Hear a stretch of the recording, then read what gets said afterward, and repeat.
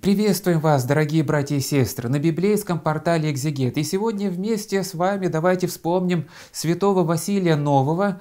А, э, что это за святой? Ну, на самом деле, мало, может быть, он так вот известен, но на самом деле известен. Известен он в связи с э, блаженной Феодорой, э, которая проходила мытарство, да, и вот откровение об этих мытарствах было э, дано вот по молитвам э, святого Василия Нового, ученику его Григорию. И вот так вот, э, так поскольку э, все мы, ну не все, но очень многие люди Э, так вот любит интересоваться какой-то смертной тематикой, да, вот что душу человека ждет за гробом, что там она встретит. И поэтому э, всякая такая информация, она привлекает э, огромное внимание. И «Мытарство» э, Блаженной Феодоры, это была одна из самых распространенных книг э, в России долгое время. И э, вот э, поэтому, конечно, э, мы касаемся этой темы, но все-таки акцент должен быть какой? Мы должны прежде всего вспомнить самого святого Василия Нового, человека, который всецело посвящен был Господу. А он новым почему назван? Потому что до него было уже много святых с именем Василий. Вот особенно нам известен святитель Василий Великий, архиепископ Кесарии Каппадокийской. А Василий Новый, он жил на рубеже 9-10 веков, и был он э, простым пустынником, то есть он полностью отрекся от мира. Он не искал э, не то, что даже какой-то там известности, он не старался быть учителем э, кого-либо, да, вот ходить там с просвещением, а просто вот вышел в пустынные места, пребывал там в молитве, и вот находился он где-то на окраинах Византийской империи, Малая Азия и там какие-то приграничные территории. И вот удивительным образом Господь а, своим промыслом вот как Господь его привлекает, то есть приводит его в Константинополь. То есть вот промысел Божий, он нам вот, ну, непонятен чисто по-человечески. Теми местами а, проезжали какие-то вот должностные лица через вот приграничные территории, госслужащие какие-то, и обратили они внимание, смотрит, ходит какой-то человек – там, в грязной изорванной одежде, обросший.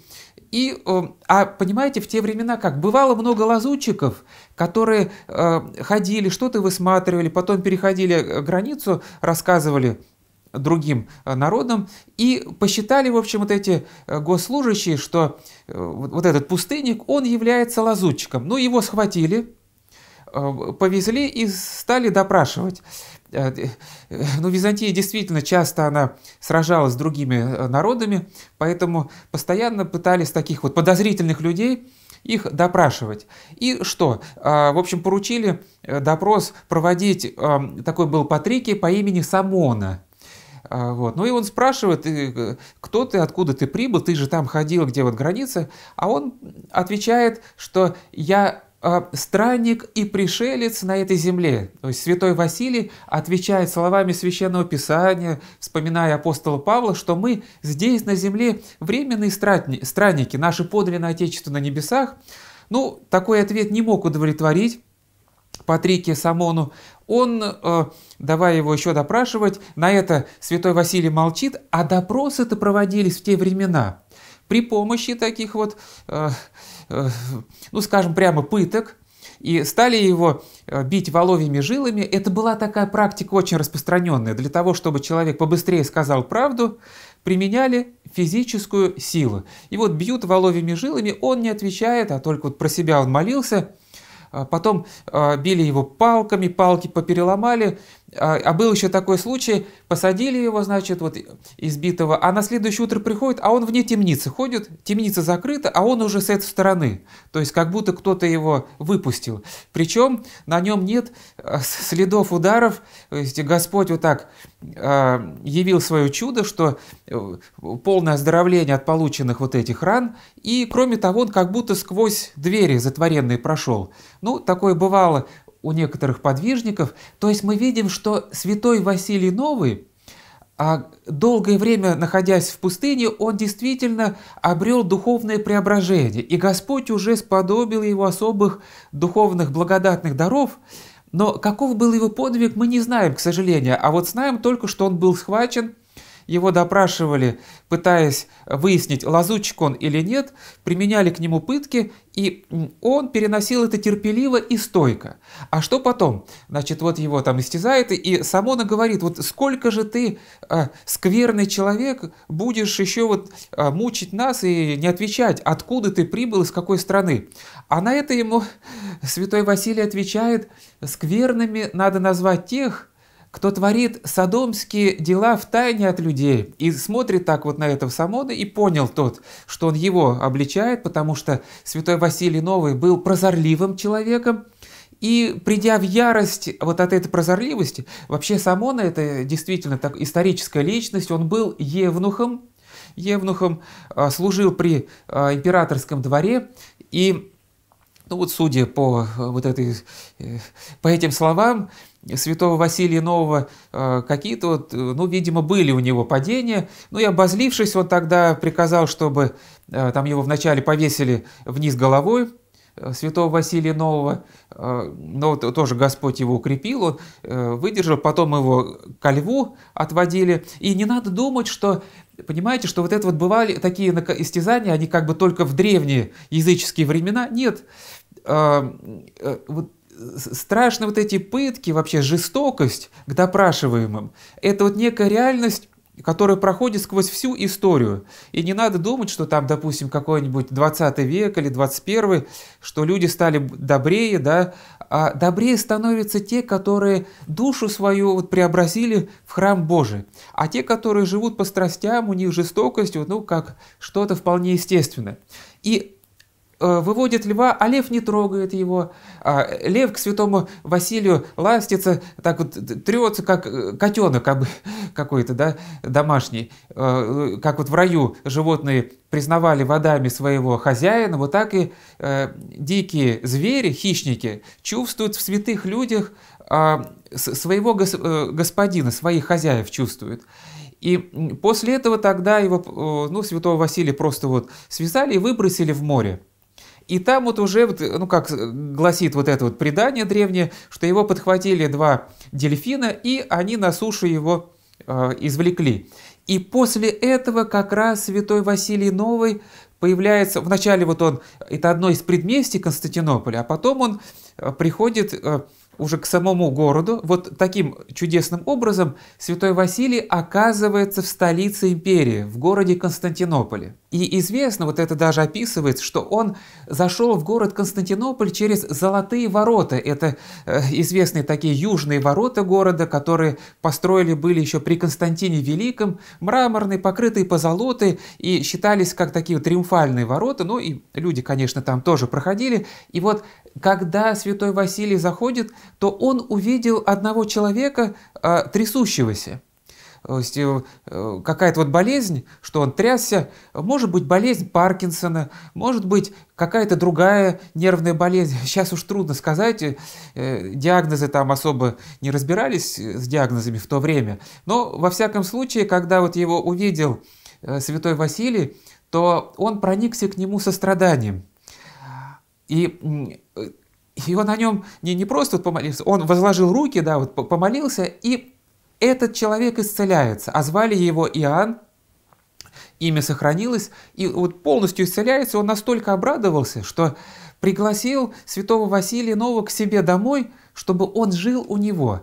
Иоанн э, был женат, э, супругу его звали Елена, и э, вот святой Василий Новый поселяется у них в, отдельной комнате, они рады просто вот без ума, да, что э, от такой неизлечимой болезни их исцеляет, и он молится, святой Василий, то есть он продолжает свою такую вот монашескую жизнь, живя вроде бы в столице, но все равно сердцем не примешиваясь никакой земной суете. А на самом деле это вот просто Господь так вот ведет человека, э, того, который, человека, который хочет служить Богу. И а, а, потихоньку вот про него узнают другие люди приходит э, в дом Иоанна и Елены, э, чтобы посетить э, святого Василия, просит его молитв, да, а начинаются исцеления больных, известно, что он был прозорливым, то есть вот он видит человека, и он говорил ему э, про его намерения какие-то, про то, что у него было в жизни, и подсказывал людям, как правильно поступать им при принятии тех или иных решений. То есть он выступает вот как, э, как старец, как умудренный духовник. Вот это вот понятие старца, оно как раз полностью реализуется в образе святого Василия Нового. И он там вот живет, и вот проходит какое-то время, когда э, вот эта вот благочестивая супружеская пара, Иоанн и Елена, они покидают наш земной мир. И э, получается так, что, ну вот в житии не сказано, были у них дети или нет, видимо, э, дом оказался таким вот невостребованным какое-то время для каких-то вот родственников э, Иоанна и Елены. И святой Василий продолжал там жить, а к нему приходит очень много людей, кто-то приносит пожертвования, но эти все деньги святой Василий отдает. Себе он не берет ничего. Э, он довольствуется самым скудным каким-то скромным пропитанием. И э, проходит еще время, и вот появляется другой человек по имени Константин, который приглашает э, святого Василия к себе.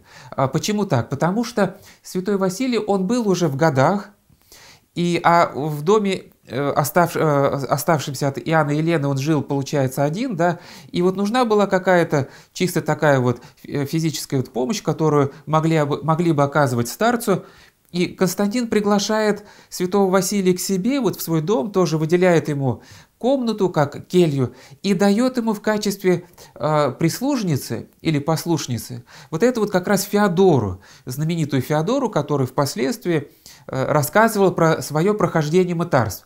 А Феодора, она была вдовой, то есть когда-то э, замужем, потом муж умирает, и э, посвящает себя всецело церковной христианской жизни, духовному пути, и, в общем, э, возлюбила она благочестие, и в лице э, старца Василия она встречает вот своего руководителя и всячески вот служит ему. И в это время известность святого Василия Нового была такова, что даже однажды его приглашает к себе сам император, но, правда, в то время императором был э, Роман I Локопин, и когда вот Василий явился к нему, то э, он обличает императора, прямо говорит ему о его грехах, вот бесстрашно. Э, просто Роман Локопин, он хитростью завладел престолом, проявлял где-то там жесткости, в общем, будучи пристыжен старцем, обещал исправить свою жизнь, а, а потом к нему, вот к старцу приходил также император э, Константин Багрянародный со своей супругой, и он предсказал э, императору рождение детей, и то, что сын будет сам императором, что впоследствии и исполнилось, правда, Э, сын его не так долго правил, но все равно слово старца исполнилось. И вот э, прозорливость э, привлекала к нему людей, и это описывает как раз Григорий. А Григорий один из учеников, о нем, конечно, ученые э, точно вот не говорят. И кто-то говорит, что он был там э, слугой у одного э, господина во Фракии, потом вот переехал в Константинополь. И э, со временем он сам принял монашество. Ну, спорят ученые, во всяком случае, личность эта вот известная, и Григорий как раз описывает, что когда я только-только вот пришел э, к старцу Василию, да, то он еще, он же не знал меня совершенно, но он мне рассказал про все мои дела, которые я до этого совершил, вот, и добрые, и злые мои дела, пересказал, как бы ему жизнь открылась Григорий. И, конечно, Григорий становится его учеником, просит его благословения, напутствия. Потом он еще рассказывал, что однажды отправился э, во Фракию, да, вот по каким-то делам, и остановился в гостинице, и вдруг увидел там э, лежит пояс. Оказалось потом, что этот пояс, э, пояс был дорогой, стоил две золотых монеты, и пояс обронила дочь содержателя этой гостиницы. И Григорий подумал, что вот лучше я возьму себе этот пояс, продам, а деньги раздам нищим, потому что содержатель гостиницы, он человек не бедный, и им и так хватает средств. Ну и действительно он присвоил себе, хотя пояс уже искали, и не могли найти, а он не стал говорить, что нашел этот пояс. И, в общем, отправился дальше, и по пути получилось так, что он теряет не только этот пояс, но и свой пояс. Кроме того, теряет э, деньги, 4 золотых монеты. Получается так, как бы вдвойне идет у него утрата, и э, огорчился из-за этого, и потом э, он засыпает, а во сне видит, как является ему сам старец, э, святой Василий Новый, и говорит ему, вот видишь, и держит в руках э, разбитый сосуд, и говорит, даже если кто-то украдет такой разбитый сосуд, все равно за это будет отвечать перед Богом. То есть, когда мы думаем, что людям э, какая-то вещь не нужна, вот составили мы себе представление, что эта вещь им не нужна, вот я кому-то на пользу ее употреблю, то мы тоже впадаем в грех. И это грех воровства, мы присваиваем чужое, мы думаем, что мы лучше знаем, чем другие люди, правильно распорядимся, так сказать, вот их э, имуществом. Э, да, э, это все э, ошибочное представление. Вообще, если что-то мы находим, да, вот еще э, в детстве вот старшие люди нам говорили, э, что э, не твое, не бери. А если мы что-то нашли, из-за этого вот так, эта вещь, она не значит, что она наша становится. Нашел ты мобильный телефон, э, если ты его присваиваешь себе, то за это тоже можешь отвечать. И причем не только перед Богом, да, но и перед законом. И Григорий, он выносит вот это на практике, на опыте своей жизни, э, вот такие уроки. И э, вот когда он возвращается э, к святому Василию, то оказывается, что Феодора, ученица старца, умерла, приставилась. А Григорий очень расстроился и вот не знает, а какая была, какая у нее участь, ведь она же старалась жить благочестиво и служила старцу, и вот думает, как вот узнать бы, какая у нее загробная участь. Ну и святой Василий ему говорит, что ты вот хочешь узнать, и это тебе будет открыто. То есть по молитвам старца его ученику Григорию дано будет такое видение – и Григорию было дано именно вот во сне такое вот видение, но как наяву он воспринимал, когда действительно э, мы не будем все пересказывать, потому что это повествование, оно наполнено какими-то художественными образами, а, какими-то описаниями, чтобы было понятнее для находящегося на земле человека, но все эти описания это как вот образы небесных реалий, только как некие аллегории такие. И вот а, сама святая а, Феодора, она прославлена, кстати, в лике святых, как Феодора Цареградская, она является Григорию и рассказывает про свою кончину и говорит, что когда вот душа расстается с телом, то э, это очень тяжело. Вот почему мы молимся на богослужении, чтобы Господь э, мирную нам кончину живота нашего не спаслал, да, потому что безболезненную, потому что это очень тяжело, и она говорит, вот представьте, что если тебя живым как бы сжигают, и тело твое разрушается в огне, вот то же самое, когда душа расстается с телом, и только по молитвам а духовника моего, вот старца, мне было дано облегчение. Э, Причем уже в этот самый момент, когда вот душа еще только-только выходит из тела, ей уже являются бесы, уже как бы они претендуют на нее, потому что она, как и всякий человек, э, согрешала, допускала какие-то э, оплошности, прегрешения, и поэтому они претендуют на нее как на свою жертву, что вот и тут она оступилась, и тут а, и только вот после этого являются ей два ангела светоносных, которые ее защищают от демонических сил и уже как бы противопоставляют бесам а, те добрые дела, которые совершала а, а, блаженная Феодора. И вот когда она выходит из тела, то ангелы с двух сторон, взяв ее, вот, пытаются возвести ее к небесам, и там-то она как раз встречает мытарство. Да, вот там еще сказано, что она, обернувшись, посмотрела на свое тело, так как бы вот смотрит на а, сброшенную одежду, то есть тело наше, оно как а, такое а, одеяние, одеяние души. И когда мы слагаем тело, то как сложенную одежду оставляем, потому что тело уже э, бездушно, да, э, просто вот как оболочка, которая уже ну, лежит как бы отдельно, а душа, она пытается взойти к небесам, а, ангелы помогают такой душе, а бесы чинят препятствия, и там вот есть ряд таких заслонов. Ну, конечно, э, кто-то спрашивает, а как это согласуется со Священным Писанием? Так ведь у апостола Павла говорится, что дьявол есть князь э, воздушный, и э, бесы, они господствуют э, в сферах вот этих воздушных, поднебесных, и э, там они пытаются чинить какие-то препятствия э, душе человеческой.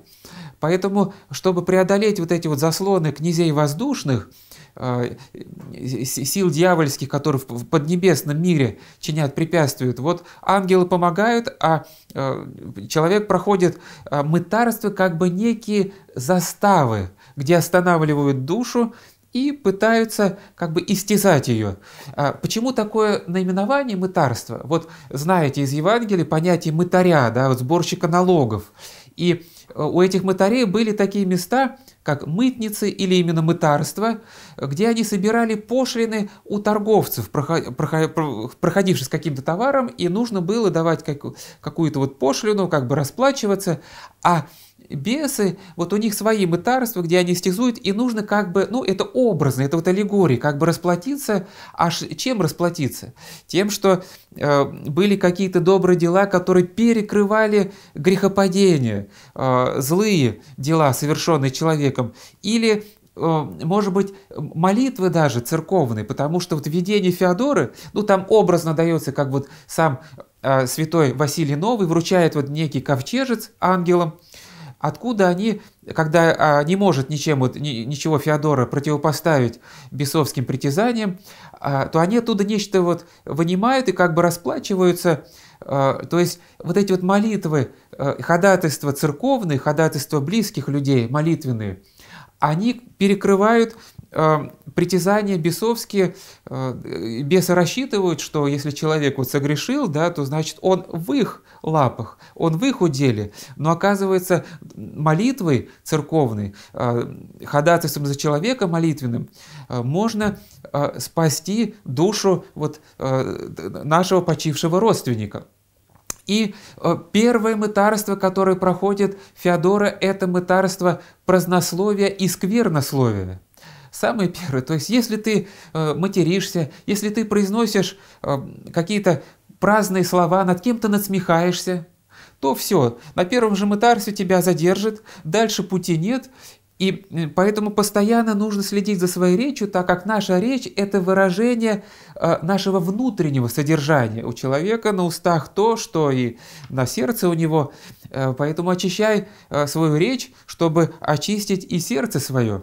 Причем, как вот говорит святая Феодора, бесы на этих мытарствах, они просто смотрят на тебя зверски, да, готовы поглотить тебя, просто растерзать, уничтожить. И вот второе мытарство, мытарство лжи, где припоминается, э, когда ты кого-то обманул, да, сказал неправду, э, в общем, все, что связано с ложью, причем, что, интересно, что при этом сам, сами бесы на этих мытарствах, они тоже лгут, они тоже пытаются э, не просто вот вспомнить, так сказать, все грехи человека, но еще и приписать ему что-то. А ангелы все это отсекают, пытаясь вот сохранить душу в неприкосновенности для них.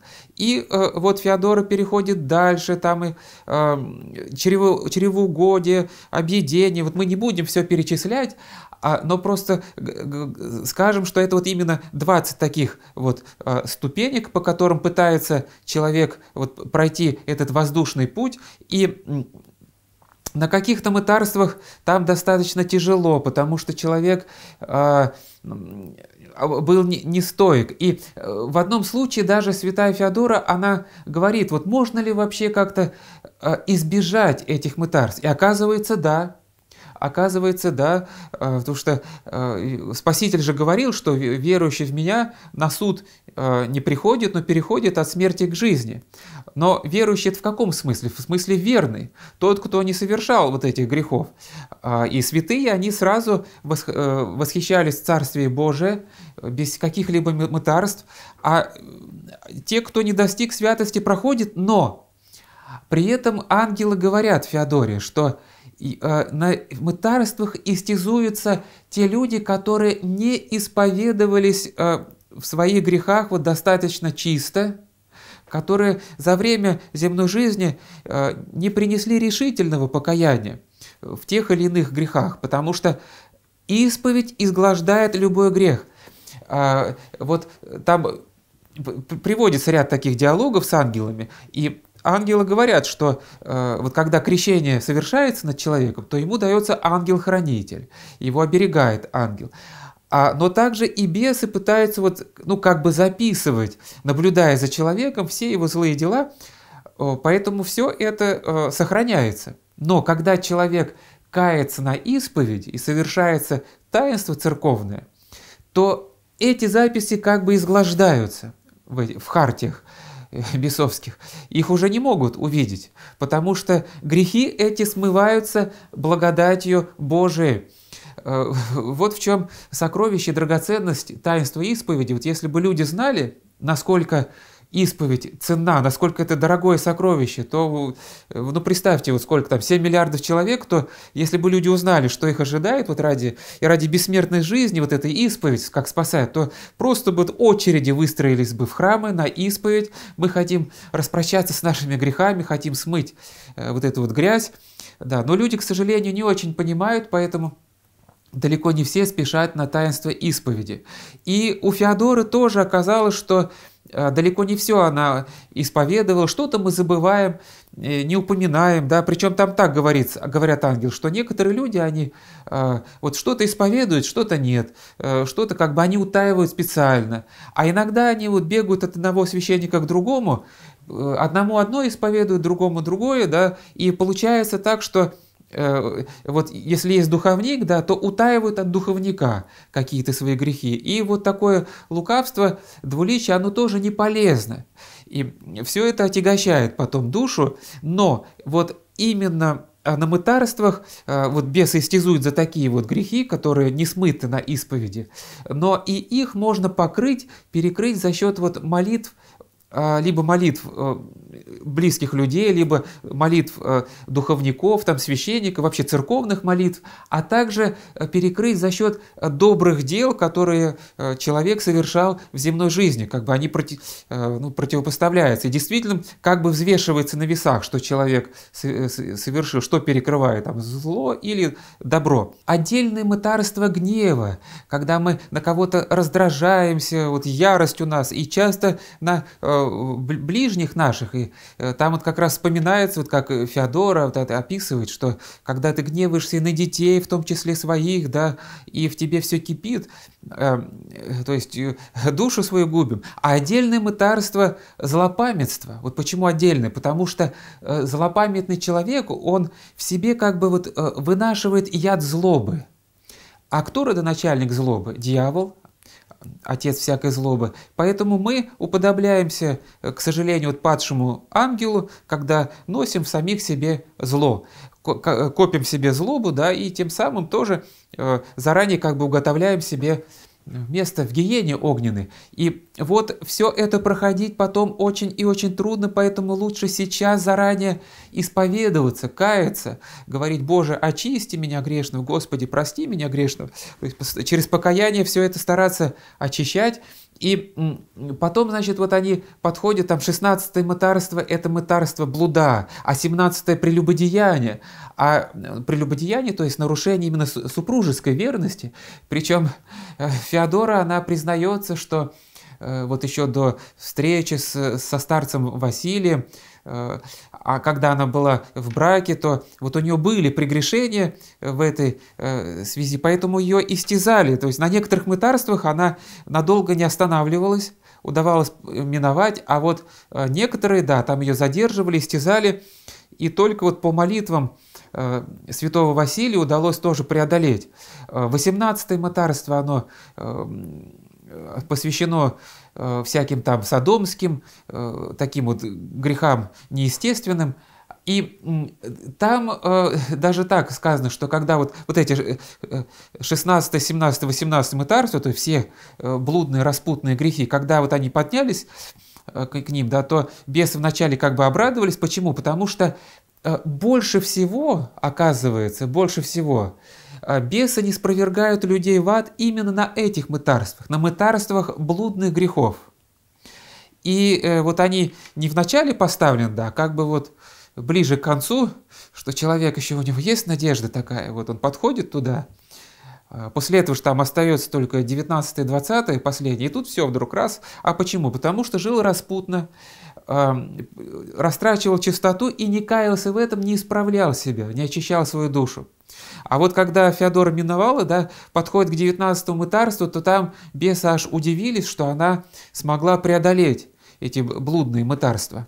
19 мытарство связано со всякой там ересью, еретическими какими-то ложными мыслями, когда человек не, э, неправославно думает, э, когда вносит какие-то свои э, измышления в вопросы веры. А 20 мытарство – это мытарство немилосердия. Суд без милости не сотворшему милости. То есть вот последнее мытарство связано с немилосердием, с, таким вот, с такой жестокостью. И Э, после этого, когда Феодоре удалось пройти все это, то э, Григорию ему дается э, видение уже райских обителей. Не будем все подробно описывать, конечно, красота неописуемая. И там, в частности, например, он видит, что вместе с правцем Авраамом христианские младенцы – Э, есть младенцы, которые не достигли э, взрослого такого возраста, были в детстве похищены смертью, они вот тоже вместе с правцем Авраамом наслаждаются э, райскими благами. Там отдельно обители для апостолов, для пророков, для разных чинов святых.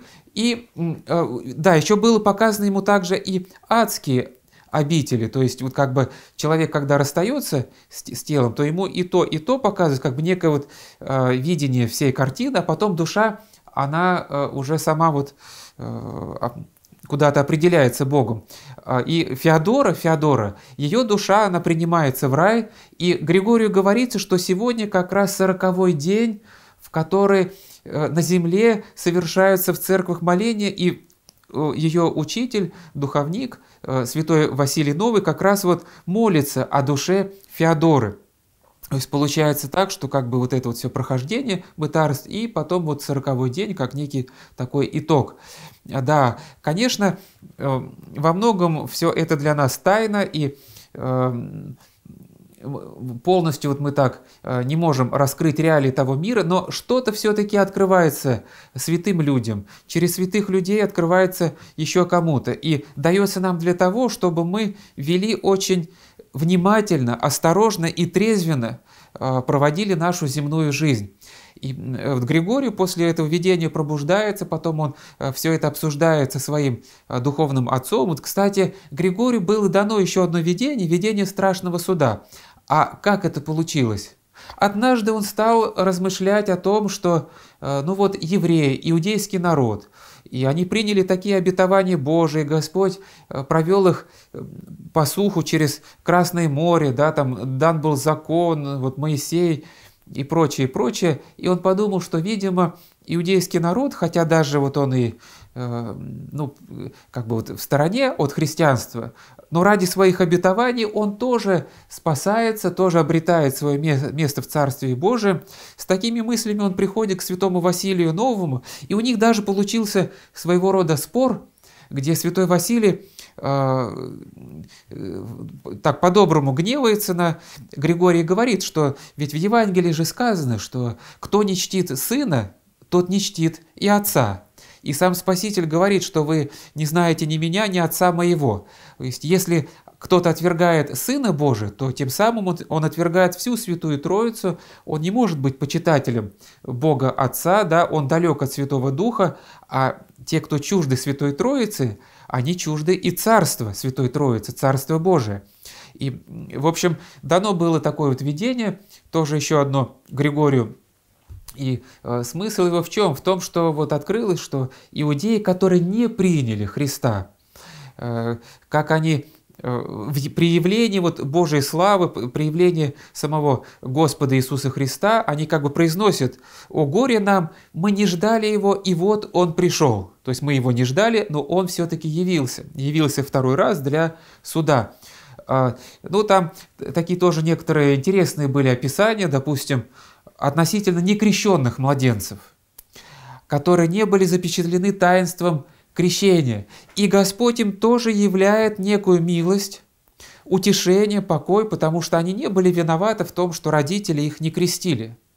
Хотя они вот не сподобляются вот той славы, которой сподобляются крещенные, но Господь и им все равно э, подает спасение. То есть у Бога э, все учтено, и э, Господь вот старается прежде всего проявить какую-то милость над людьми. И э, Григор... А да, там еще сказано, что именно Божья Матерь, она выступает как ходатайца на страшном суде, а многих она как заступница просит, и судья решает как бы благосклонно, э, именно опираясь вот на это вот э, молитвенное ходатайство, заступничество Божией Матери. А э, святой Василий Новый, он проводил свой вот земной путь вот в духовных трудах, и известно, что когда вот он в Константинополь пришел, то в этом городе он прожил примерно вот около 50 лет, считается так, что, конечно, условная дата, что вот он покинул земной мир в 946 году, и был он уже почти столетним старцем, и после его э, кончины, там это ученики, они э, спорили и э, рассуждали, вот где и как его похоронить, и, в общем, в конце концов решили его похоронить в самом Константинополе, чтобы мощи его были Э, рядом э, с православными людьми, чтобы тоже могли к нему обращаться. И память его, она таким образом осталась. Вот святой Василий Новый – это такой вот угодник Божий, который изначально он пустынник, вот повторим, да, по своей душе не был привязан ни к чему земному, но удивительным промыслом Божьим он приведен был в столицу, где э, многих просветил и своим словом, и наглядно являл э, Божию благодать на опыте. Вот когда мы молимся, то еще неизвестно, там кто-то исцелится или не исцелится. Почему? Потому что мы сами далеки от Бога, и не исполняя э, волю Божию, мы думаем, что вот Господь будет нашу волю всегда исполнять. А люди святые, такие как святой Василий Новый, они жили в согласии с волей Божией, поэтому и их молитвенные просьбы Господь всегда исполнял. Конечно, насчет мытарства а, иногда идут такие вот споры, а, дискуссии, э, и, конечно, специально вот учение о мытарствах, оно не догматизировалось ну, на каком-то вот Вселенском соборе, чтобы вносилось в исповедание веры, но, тем не менее, это учение, оно является а, распространенным у святых отцов. И в древности у святого Кирилла Александрийского, а, у ряда других, и вот святитель Игнатий Бринчанинов, он достаточно подробно об этом описывает, а, это описывает. И Мытарство – это как бы принадлежность частного суда, потому что есть вот суд частный, который совершается над душой, как только она выходит из своего тела.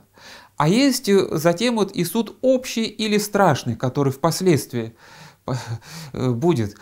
Кстати, вот этому Григорию, ученику святого Василия Нового, ему получается так, что как бы оба э, суда были открыты, а, и много там, конечно, такого вот образного, аллегорического, такие вот художественные описания, но как бы там ни было, суда нам не избежать, хотим мы того или нет. А, не избежать нам ответа за наши дела, а, Э, вот неважно, вот в таком виде будут проходить мытарства или в другом, э, все-таки будем мы истязуемы за нашу жизнь, за то, что мы делаем, поэтому терять земную жизнь вот просто так впустую нам никак нельзя, и а, святые люди, вот такие как Василий Новый, они для нас вот тоже как а, путеводители, которые показывают, чему посвящать себя. То есть посвящать себя служению все-таки Богу, а не служению своим страстям. И постараемся поэтому молиться, в том числе святому Василию Новому и другим угодникам Божиим, чтобы они помогли нам вот очистить наши души и избежать вот этих вот страшных мытарств, с которыми мы можем встретиться после нашей смерти.